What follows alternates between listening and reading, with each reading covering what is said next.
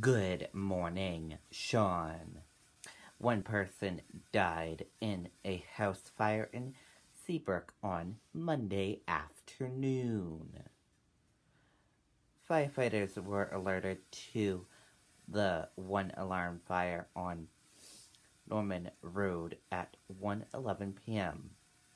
The single-story home was destroyed by the fast-moving fire. State Fire Marshal Bill Degnan says the modular home was old and structures like this typically have poor insulation. Firefighters also faced challenges with single digit temperatures as water from their hoses coated everything in a sheet of ice.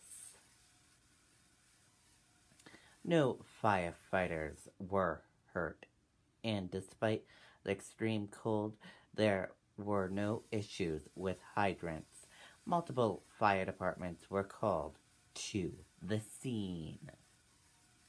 Investigators are still interviewing witnesses and neighbors, as well as family members of the victim.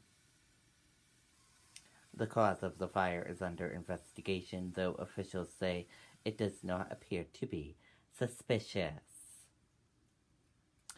Anyone who may have witnessed the fire or taken pictures is asked to contact the state fire marshal's office. Reporting live here outside the home on Norm Road in Seabrook, New Hampshire. I'm Riley King for WMUR News 9. Sean, back over to you.